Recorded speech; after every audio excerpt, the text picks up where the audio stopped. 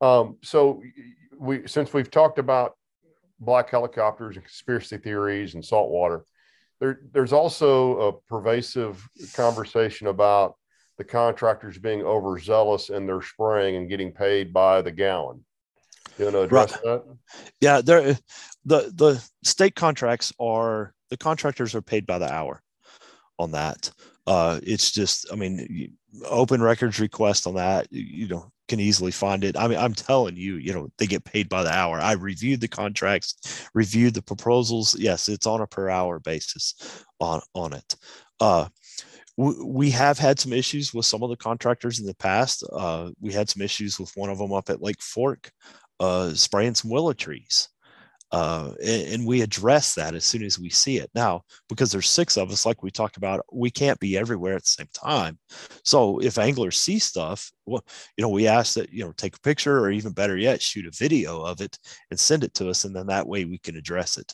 You know we we have that evidence to go up again you know with our contractors and you know hey man this is this isn't what we're asking for. Uh you know and if if it's you know just a, a complete egregious you know violation or whatever, we we can we can move from that contractor. Sure, we've done that in the past.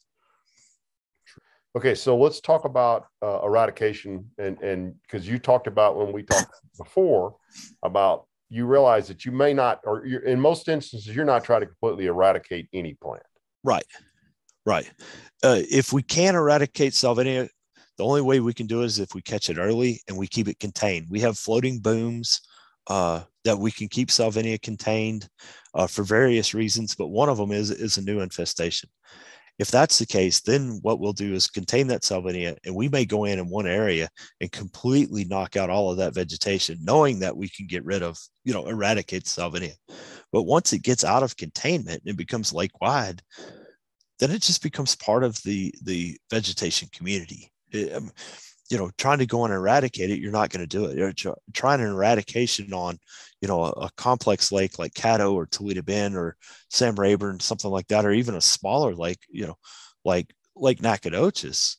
All we're going to do is more harm than good. Uh, you know, Lake Nacogdoches, rarely do we spray. We're relying completely on the weevil to do the majority of the heavy lifting up there. The only time we'll spray in Lake Nacogdoches is once it gets down and it starts getting in front of the houses. But otherwise, that entire upper end has got Salvinia scattered all throughout, but it also has weevils scattered into that too. John, I know it's before your time, but uh, Conroe's grass population pretty much got wiped out with grass carp, right? Yes. What What do you know about that, and, and what do you think uh, at a high level was taken from what happened over there? The initial stocking in the 80s was all was all a, a legislative stocking uh, you know, Parks and Wildlife uh, was involved with that, but uh, A and M did a lot of the, the, the research on that that initial stocking of it, uh, and then the grass carp stockings here lately are just just for the simple. Conroe's going to be one of those lakes we just can't have hydrilla in it. It it grows it's it can be aggr- extremely aggressive in, in Conroe. You have a lot of houses around it. Each one of those houses has a fertilized yard. Then that produces runoff, and, and we end up with a lot of extra nutrients in there that are absorbed by that hydrilla plant. Now, the the fish, it's that's just the way that one is. There's that lake. There, you know, a lot of political input or you know pressure from those homeowners in that that hydrilla is just not an answer there. But that fisheries office has worked their tails off on getting some native vegetation back in there. Uh, and, and, it's, I mean, we have a lot of native plants way back in the in the upper ra- reaches of it. Uh, you know, around no longer around these bulkheads. Bulkheads tend to, you know, be detrimental to the the sure. plants because of all the wave action associated with it. But you start to get to some of those natural shorelines way up lake, and, and you're seeing a lot more of the native vegetation in, in that reservoir. All right, so that's a great lead in then to another conversation you and I had about what uh, did, did I recall that you told me that the that your counterparts in Louisiana are in fact trying to plant and cage some hydrilla in Toledo at this point? There, what they were doing was some native plant uh, plantings, of high of I say hydrilla of native vegetation there. So they went in with cages. Uh, they put cages, native vegetation in, put a cage around it to keep the herbivores away from it. Uh, then they put just empty cages, no vegetation in it, to see what native or what resident plants, native and non-native, would grow in that cage. Uh, and then they planted some plants outside of a cage, you know, to show the impact of the herbivores. Well, in the cages with the native plants, the native plants flourished.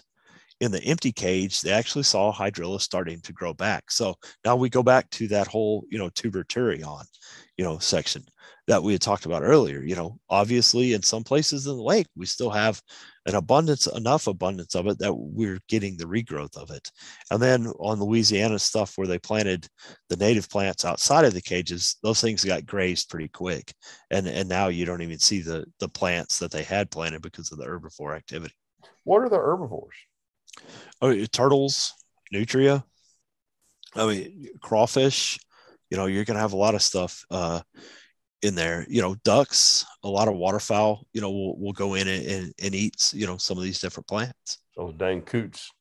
Yeah, coots for sure. Although coots are good when when you're fishing because they can show you where those deep mats of hydrilla are. Right. Yeah. What I, and it's still one of the wildest things is to watch an eagle go after coots. Yes. yes. They, they, they they will flat drown and eat a coot in a heartbeat. So mm-hmm. okay, so John, let's let's sort of close with this thought and uh, you made a comment earlier about um, you know if you see a and, and, guys don't send videos just because you see a contractor spraying, but if you see something that seems unusual to you in that spraying process, certainly let the guys know at Texas Park and Wildlife. But what else spurs you guys to take action from an aquatic vegetation standpoint, and and and how does that process work for you? Uh, the one thing our office is set up as, a support office for these fisheries management biologists. It it wouldn't do any good to have a fisheries management goal, you know, wanting herbicides or herbicides, wanting vegetation, and then for my office to go in and just completely eradicate it. So what we've got to do is align ourselves up with the fisheries management biologist. And that's going to be folks like Todd or, or, Jake Norman or, you know, Alice Best out in the College Station office uh, Greg Binion down in, in, South Texas, Tim Bister up on Caddo Lake, all these biologists we have there. We need to, we got to work with them. We've got to get, you know, help them to figure out how how to meet their objectives if it comes to aquatic vegetation control. What do we need to do? You know, do, can we use and, and my first question is, you know, can we use a mechanical harvester? or is there a biological control agent? Let's look look at the most the least invasive way to do it, although a harvester may be invasive. Uh, you know, let, let's try to get that done before we bring an herbicide to the table. Now, an herbicide is going to be easily the most cost effective way to do it. But before we can do any type of a, a vegetation treatment on a reservoir, Parks and Wildlife it, requires that there be a, an aquatic vegetation treatment proposal for that uh, specific plant on that reservoir. And, and the first thing I'm going to do is work with, you know, the local fisheries biologist. Is it is it a problem? You know, alligator weed at, at Lake Fork, Jake Norman doesn't see as a problem. So if it's not a problem, then then we don't get involved with it. But you know, when we had giant salvinia show up at, at Lake Fork, uh, Kevin Storey was there, the, the biologist, the first time, and you know, Kevin's like, "We got to get something done," and you know, a boom was put across. We were able to contain it. We were able to go back in with herbicides and do that. But before we could do any of that, we needed to work with, you know, we had Kevin's, you know, interest in and you know, Kevin wanted us to get rid of it. So we had to work with the controlling authority, and for Lake Fork, that was SRA. And you know, SRA was on board with us. Well, okay, you know, Parks and Wildlife's on board, SRA's on board. Then we had to get a vegetation treatment proposal out. And this, you know, explains the process of what we're going to do. You know, are we going to use floating booms to contain it if we can? Are we going to introduce weevils or are we going to come in with herbicides? If we're using herbicides, what herbicides are we specifically going to use at what rate? How much of it are we going to use, you know, over a year's period of time? So we have to have these these treatment proposals, and they're on the Parks and Wildlife website. uh, the the active proposals that are in place now. They start uh, as early as January 1st, and they go all the way for the entire year, cover it. Uh, so that you know that's from a Parks and Wildlife standpoint. Once once we get that proposal uh, prepared, it'll there is a review board on it of comprised of you know anglers. Uh, we have some of our contractors who are on it, some of the chemical companies that uh, you know provide herbicides, that type of stuff, and, and are reviewing this. Uh, they can they have two weeks to review that this notification list once that's uh, over then we can start the treatments now on occasion if we have an, an emergency infest a new infestation of salvinia let's say uh, oh you know lake Kurth, god forbid we have it we have it there then you know that that 14 day window is shortened down to a 24 hour period. So that way you know we're not allowing that plant to double twice before right. we get back there on it. yeah. so i mean and, and, that makes sense. Uh but you know let's let's say on an issue we talked about you know with, with lake fork and, the alligator weed around it jake jake and may not see that as an issue. Parks and wildlife's not getting involved with it but the homeowner who has, you know, lakefront property there doesn't like it. You know, what can they do about it? You know, we can't just not let them do something. So there, that same process exists for that homeowner. They can complete. Uh, they'll work with Jake and, and work with SRA, complete a aquatic vegetation treatment proposal, and, and you know then that gets reviewed by Jake and the the controlling authority, and then it'll once that they it gets their approval then it goes back out to that review committee i talked about 14 days there and then it's up to the homeowner to pay for that. Uh, sometimes some of them want to do it themselves other times you know they'll pay a contractor to do that. And i mean we see that quite a few places across the, across the state uh, you know as far west as uh, Hubbard Creek, uh, and we've even had some of those instances happen out here at, at Toledo Bend where Todd was approving a, a homeowner to, to do a, a small treatment. And typically those are less than a third of an acre. Right. Right. So, so there is a process that is documented. It's not like you know anybody can just call somebody in and you know come spray. It's that has to be documented and it's reviewed by our biologist. Got it. All right. Well, so first, you've you've told me I might get an airboat ride at some point in the future, point in the future, and go check some of this out live on the water. Yes, I'd yes. love to do that. Uh, we can I do that. They're they're 18 foot airboats and they have a, a Corvette engine with a uh, supercharger on it. So we're about 750 horses. Holy, what kind of speed will that thing run?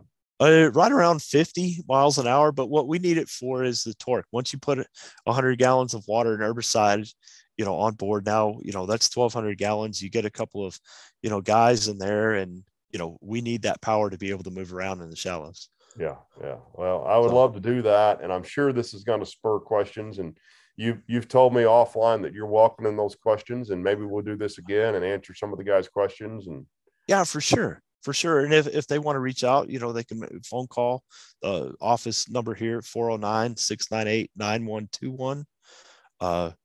And I'm trying to my old I had an old phone. It was extension 235, but I think the new one is 240. So uh or you know email john.findeisen at tpwd.texas.gov all right i'll put that at the bottom of the page there since you put it out there. And uh, i think i think your black helicopter is waiting for you outside to take you home right now so. It, it might be. So i appreciate the opportunity to help get this message out. And you know it's just i think the more transparent we are with what we do the better it is for everybody to understand agree. 100%. And again, uh, the two things out of all of this that just really, really strike me number one is how little, for example, Toledo Bend you guys actually sprayed. Do you have any sense of how much of Rayburn you sprayed last year? Uh, that the Rayburn contracts are all being conducted by the Corps of Engineers, but that's uh, just a little over 2,000 acres, if I remember right. Out of 118,000 acres, so right, less right. than two percent of the lake and then the whole fragmentation thing on the hydrilla about that's really right. the only way for it to grow that that kind of boggles my mind so that don't forget the tubers and turions so yeah yeah yeah. that but anyway so thank you for your time and uh, i'm sure we'll connect again uh, both by zoom and also hopefully in person as well Oh, sure, for sure. I maybe I'll get a, a tour of the Ken Smith Fishing World headquarters in Zavalla, Texas. That doesn't take long. I'm looking forward to it though. There you go. Thanks, John. We'll see you soon. All right. Thanks again.